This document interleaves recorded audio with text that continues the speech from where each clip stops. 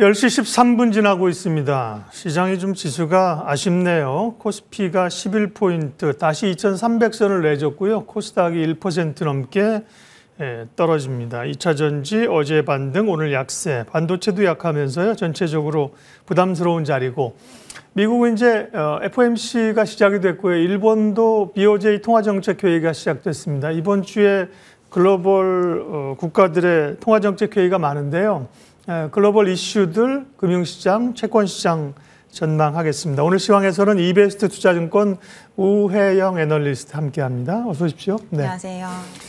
오늘 주제는 말씀드린 것처럼 이제 아, 금리가 조금 안정화될 수 있을까? 그러면 주가는 다시 반등할 수 있을까인데요. 음, 최근에 그 어, 이 월가의 view도 뭐 FOMC보다는 미국 채권 시장에서의 채권 발행 규모가 더 중요하다 이런 얘기들이 있던데요. 네. 이제 미국 정부가 4분기의 채권 발행 규모를 이제 곧 내일인가요? 공개하는 모양이죠. 조금 네네. 예상보다 줄어든다면서요. 네, 맞습니다. 네. 뭐 3분기 같은 경우가 이제 2분기 대비해서 증액이 됐던 만큼 4분기엔 또 어떻게 될지에 대한 모습이 기추의 향방이 집중됐던 것 같은데요. 네. 생각보다는 규모가 좀 축소될 것으로 기대가 되고 있습니다. 어, 최근 미국채 장기물 금리를 끌어올리는 이유가 기간 프리미엄이라고 해서요. 어, 소위 뭐 국채 공급 확대 이런 것들도 영향을 줄 수가 있거든요. 그렇게 됐을 때 이제 분기 쪽에 발행 물량이 늘어났을 때 추가적인 장기물 금리 상승이 나타날 수가 있는데 일단 그런 것에 대한 우려가 조금은 뒤로 물러난 것 같아요. 네. 그래서 아마도 자세한 규모나 어떤 만기별로 어떻게 발행이 될지는 내일 좀 더 자세히 아, 시겠지만 일단 규모 측면에서는 3분기 대비해서 4분기 발행 물량은 좀 줄어들 것 같다라고 보시면 될 것 같습니다. 예, 말씀드린 것처럼 이제 또 기간상 단기물이냐 장기물이냐 어떤 걸 발행하냐에 따라서 시장이 소화할 수 있느냐 이런 게 이제 주목된다고 하는데 그 생각보다는 이제 3분기보다는 줄었고요. 시장 예측보다 4분기에 미국 정부의 채권 발행 규모가 좀 줄었는데 약간 좀 속도 조절, 유화적인 제스처를 쓰는 걸까요? 어, 뭐 그런 모습일 수도 있죠. 예, 예. 일단 뭐 미국 같은 경우에는 회계년도 기준이 좀 우리나라랑 다르기 다르죠. 때문에 예. 4분기라고 하면 이제 조금 다른 그 기준이 될 수가 있거든요. 그래서 이 분기별로 재무부에서 얼마만큼 발행을 하겠다라는 물량을 보여주는 것이긴 한데요. 어, 아마도 11월 중순쯤에 또 예산안에 대한 합의가 있을 겁니다. 네. 내년도에 대한 예산이 어떻게 되는지에 따라서 그 또 발행 물량은 또 다른 다음 음, 분기로 넘어가는 그러니까요. 문제거든요. 그래서 일단은 마지막 분기인 만큼 이제 부, 발행 물량 자체가 줄어들 수는 있겠습니다만은 음. 그것도 새롭게 시작되는 다, 그렇죠. 1분기에 또 달라질 수가 있어서 조금은 그 수급 부담에 대한 우려감은 음. 올해 이번 분기 다음 분기까지 이어질 것 같아요. 약간 뭐 계절적인 요인도 있을 수 있고 그러나 내년에도 미국 정부는 지금 뭐 돈 쓸 일이 많은 상황이니까 그죠? 지금부터 줄어든다고 낙관하기에는 좀 이른 것 같습니다. 11월 이제 FOMC가 시작이 됐는데요. 어, 금리는 동결 전망이 뭐 99% 이렇게 99% 압도적인 것도 참 이례적으로 보는데요. 뭐 시장에도 그렇고 연준에서도 11월에는 일단 금리를 동결하는 이유는 뭘까요? 어, 우선은 뭐 잘 아시겠지만 정책적인 영향이 실물 경제에 줄 수 있는 시간이 필요합니다. 네. 소위 말해서 레깅이라고 하죠. 통화 정책이 실물 경제에 영향을 줄 수 있는 시차. 레깅이 존재하기 때문에 사실은 이러한 것들을 고려했을 때 조금은 정책적인 측면에서는 어, 한 텀 쉬어갈 필요가 있다라 보시면 될 것 같고요. 어, 물론 3분기까지 경제 지표가 좋게 나온 건 사실입니다. 하지만 앞으로 지표가 좋을 거냐에 대한 얘기는 다른 얘기거든요. 어, 최근에 지표들을 좀 보시면은요, 이제 앞으로 소비에 대해서 긍정적인 전망만을 하기엔 좀 어렵게 하는 요인이 또 존재합니다.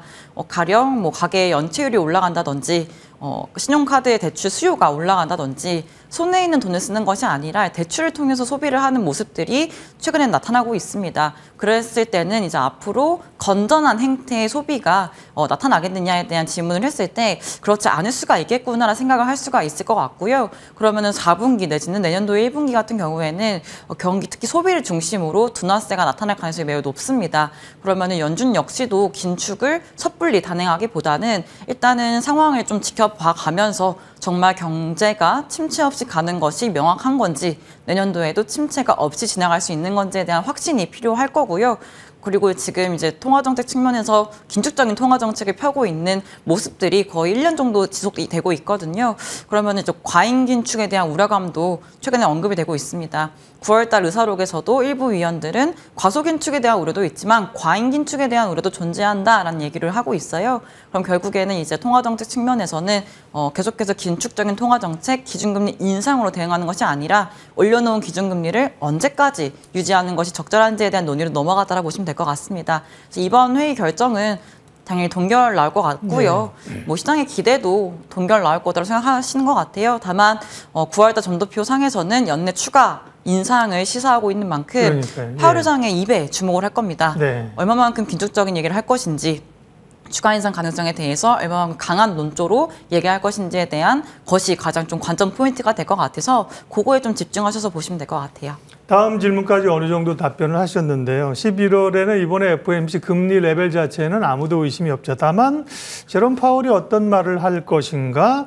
근데 지금 말씀하신 일부 연준 위원들이 긴축을 좀 과하게 해서 후유증이 있을 수 있다는 과잉 긴축 얘기했는데 제롬 파월이 내일에 과잉 긴축 얘기는 안 할 것 같거든요. 네. 그죠? 예, 약간 기존처럼 조금 매, 매파적인 발언을 할 것 같은데 그러면 이제 결국은 12월이에요. 12월에는 지금 페드워치는 아마 20, 한 4, 5% 정도 그죠? 인상 가능성. 네. 물론 동력을 가능성도 높긴 높고요. 합니다만 네. 12월이 참 중요한 변곡점이 될 것 같습니다. 개인적으로는 12월에 동결적으로 보시나요? 아직 좀 확인해야 되나요, 지표를? 우선은 뭐 가능성 측면에서는 동결 가능성이 높은 것 같습니다. 네. 뭐 CME 페드와치라고 해서 시장 참가자들이 많이 보는 지표가 또 있죠. CME 네. 페드와치에서 보는 가능성 역시도 앵커님 말씀 주신 것처럼 동결을 가장 우세하게 보고 있고요. 블룸버그에서 확인할 수 있는 선물 금리에 또 내재되어 네. 있는 어, 정책 경로를 보시더라도 올해는 쭉 동결의 전망이 되고 있습니다. 어, 그런 거죠. 연준에서 아마도 대다수의 위원들이 이런 얘기를 하고 있는 것 같아요. 어, 앞서 언급드렸던 것처럼 지금의 금리를 얼마까지 얼마 동안 이어가는 게 유지하는 것이 적절한지에 대한 논의가 필요하다라고 언급을 하고 네. 있다 보니까 이제는 섣불리 한 발짝 더 나가는 것보다는요 음. 현 시점에서 이걸 언제까지 유지를 할 것인가 이것이 이제 긴축적인 범위에 있다 보니까 얼마까지 유지를 해야 물가나 성장이 유의미하게 변화할 수 있을 것인지에 대한 고민을 하고 있는 것 같습니다. 또 그 외에도 QT를 진행을 하고 있지 않습니까? 예. QT는 이제 계속해서 지난 기존의 계획대로 유지가 되고 있기 때문에 어, 기준금리를 인상하지 않더라도 어, QT를 통해서 유동성의 흡수 이런 것들도 진행이 되고 있어서 일단은 경기가 앞으로 뭐 연착륙을 하더라도 착륙이긴 하거든요. 어, 침체가 음. 없는 것이긴 네. 하지만 그래도 경기가 둔화되고 있는 양상이라는 것에 대해서는 동의를 하고 있는 부분이다 보니까요. 어, 앞서서 말씀드린 것처럼 긴축을 더 강하게 하는 것보다는 이제 어느 정도는 경기에 대한 고려도 해야 되는 시점인 것 같습니다. 그래서 12월 달 역시도 뭐 예를 들면 물가가 뭐 거, 거, 엄청 막 급락을 하, 네. 급등을 하거나 내지는 성장이 너무나 좋게 나오거나 하지만 않는 이상 어, 동결을 통해서 정책 기조를 유지하는 방식으로 선택을 하지 않을까라는 생각을 하고 있습니다. 네, 그럴 것 같긴 한데 조금 더 확인할 게 있어서 뭐 금융시장이나 채권 애널리스트들은 얼마나 더 긴장하시겠어요. 근데 페드워치도 그렇고 심지어 점도표도 그렇고 왔다 갔다 해요. 네. 그죠? 페드워치는 심리적인 영향이 많기 때문에 갑자기 20%에다가 제롬 파월이 강한 얘기하면 40%갈 수도 있고요. 맞습니다. 이게 왔다 갔다 하더라고요. 네. 금리 얘기는 일단 요 정도 하고요. 경기 얘기를 좀 할게요. 미국은 월가에서도 그렇고 사실은 저희도 채권 전문가들도 오시는데 지금 뭐 회사채 금리나 기업이나 은행들 되게 어렵다. 근데 지표가 워낙 좋게 나오니까 고용 좋죠, 소비 좋죠, 어뭐 GDP 성장 좋죠. 그래서 월가는 경기가 이제 침체 국면으로 간다. 그 다음에 미국 정부는 뭐 건강하다 이렇게 얘기하고 있는데 음, 미국이나 우리나 경기 침체로 들어갈 가능성은 어떻게 보세요? 어, 아직까지는 미국 특히 미국 쪽에서는 침체에 대한 예상을 거의 아무도 안 하고 있으신 것 같아요. 네. 너무나 경제 지표가 견조하게 나오다 보니까 소위 침체라고 하면 기술적인 침체일 수가 있겠죠. 뭐 예. 2분기 연속 마이너스 성장률 그렇지. 나왔을 때 침체라고 하는데 이제 아직까지는 연내를만 놓고 보면은 미국 이 침체에 빠질 가능성은 굉장히 현저히 낮은 있는 음. 것 같습니다.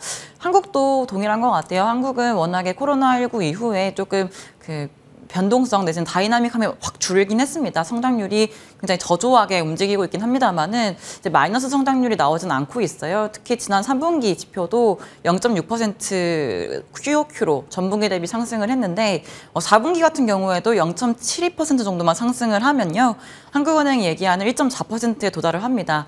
음, 플러스 성장률 나온다는 거는 물론 음, 침체라고 하긴 어렵겠지만 그래도 성장률 측면에서는 그리 높은 수준은 아니거든요. 그래서 과연 침체가 되는 것만만 경기를 나쁘게 봐야 되는 거냐, 예. 1%대의 성장률을 나쁘게 봐야 되는 거냐라고 했을 때 굉장히 어렵습니다. 하지만 뭐 숫자만 놓고 보면은 침체는 아닌 거죠. 한국도 그렇고 미국도 그렇고 뭐 침체 가능성에 대해서는 굉장히 낮다라고 보시면 될 것 같고요. 네. 다만 이제 우려스러운 거는 특히 미국 측면에서는 소비 중심의 국가다 보니까 소비 지표가 굉장히 급격하게 둔화되기 시작하면요. 시장의 분위기나 전망이 급격하게 바뀔 수가 있을 겁니다. 뭐 침체가 아니더라도 성장의 둔화 속도가 굉장히 빠르구나. 생각보다 연준이 기준금리 동결 시점을 오래 가져가지 못하겠구나라는 인식이 또 들어올 수가 있거든요. 그래서 아직은 뭐 선언, 이렇게 확언하기는 어렵겠습니다만은 그래도 앞으로의 소비 지표나 성장 지표에 대해서도 계속해서 지켜보셔야 될 필요성이 있는 것 같아요. 그렇죠. 말씀하신 것처럼 공식적으로 우리가 뭐 어, 리세션이라고 하는 경기 후퇴는 이제 2분기 연속 성장률이 연속으로 마이너스 나올 텐데 그런 국면은 아닌데 뭔가 좀 슬로우해진다는 느낌을 갖는 거고요. 이제 오늘 우리도 산업 생산 발표됐는데 생산과 소비 투자 삼박자가 모두 오랜만에 늘었습니다. 5개월 만인데요. 그런 점에서는 지표가 좀 버티고는 있습니다. 그래서 어쨌든 많은 분들은 미국 국채금리 어떻게 되는데 10년물로 하면 지난번에 5% 넘었다가 지금 4.89거든요. 거기서 네. 약간 좀 정체된 우리 빌 형제들 얘기 이후에 더 내려가지도 못하고 네. 올라가지도 않는 상황인데 약간 이제 채권 발행 물량하고도 관련이 있고요. 음, 금리 전망은 어떤지 좀 알려주세요. 어, 우선은 뭐 장기와 단기로 나눠서 예. 보면요. 너무나 뭐 이론적인 얘기긴 합니다만은 이제 통화 정책이 어떻게 될 건지에 대해서는 즉각적인 반응이 단기물에서 나오게 됩니다. 근데 현 시점에서는 뭐 많아봤자 연내 한 차례 추가 인상 정도가 어, 좀 긴축적인 전망인 것 같고요. 네. 대다수가 동결을 전망을 하고 있다 보니까요. 단기물 금리에 좀 반영되어 있는 것들은 거의 다 소화가 된 부분들이 있다라 보시면 될 것 같습니다. 그래서 단기물 금리가 올라갈 여력이 굉장히 제한적이다라 보시면 될 것 같고요. 네. 반면에 장기물은 좀 다른 것 같습니다. 장기물은 굉장히 상방 리스크가 열려 있는 것 같아요.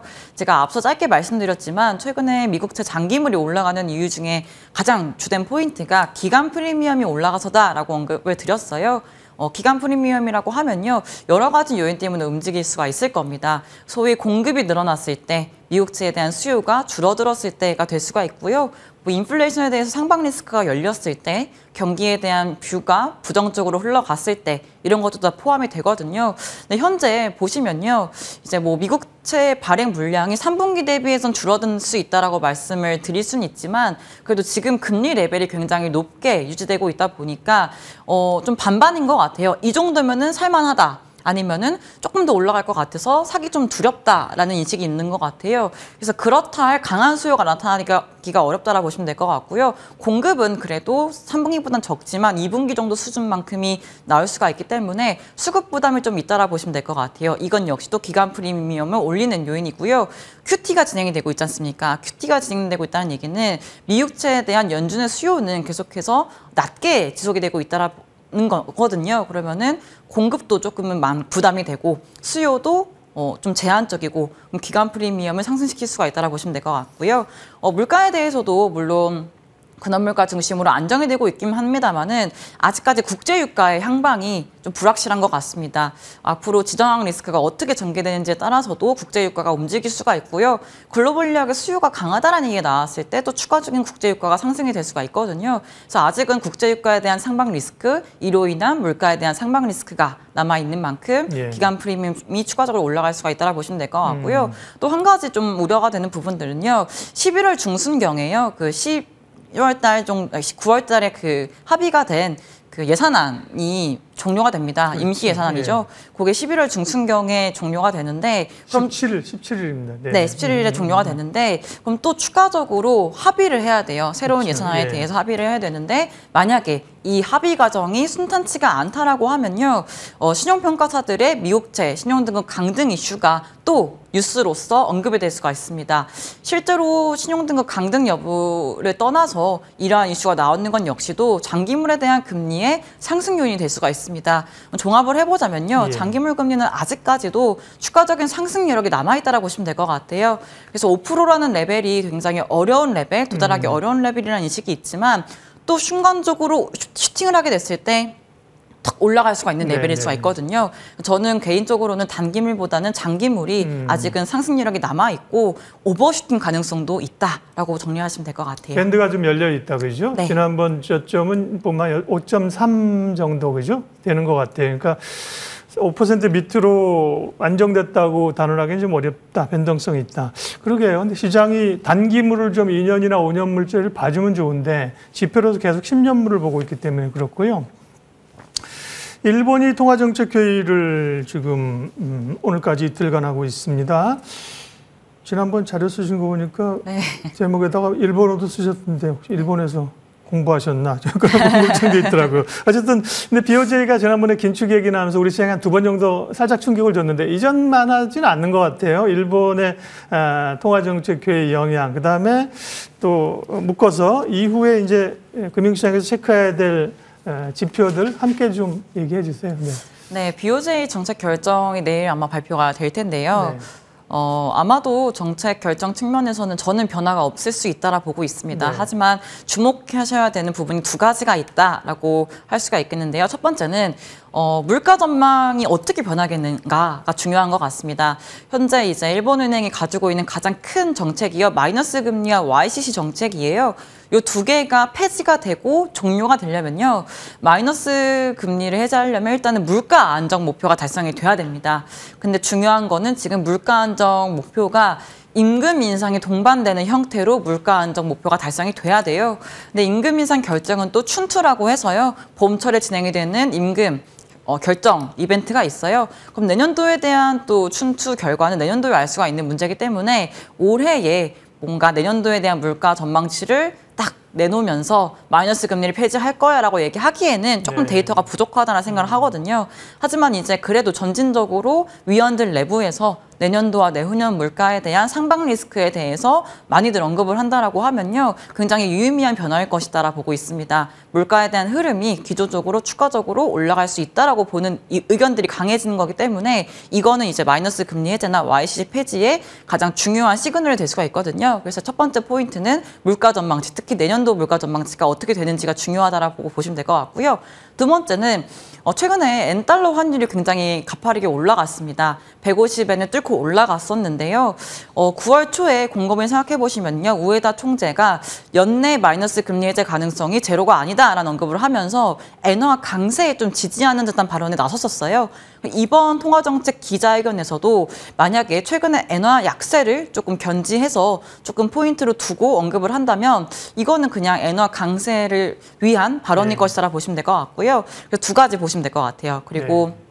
뭐 BOJ나 FOMC 끝나면 또 중요한 지표들이 고용 보고서가 또 발표가 될 예정이고요. 예. 그다음에 뭐 애플 실적이라든지 그렇죠. 내지는 뭐 비농업 고용, 뭐 실업률 이런 것들이 중요한 또 이벤트다 보니까 아마도 이번 주 다음 주 초반까지는 좀 변동성이 조금은 있는 시장일 수가 있다라고 보시면 될 것 같습니다. 네, 저를 포함해서 시청자 사실 제일 궁금한 것은 미국의 국채 수익률이 이제 안정됐느냐일 텐데 네. 장기물로 보면 아직까지 변동성이 좀 있을 수 있다는 얘기였습니다. 오늘 시황 해설 이베스트 투자증권 우혜영 연구원 함께했습니다. 시간 내주셔서 고맙습니다. 감사합니다.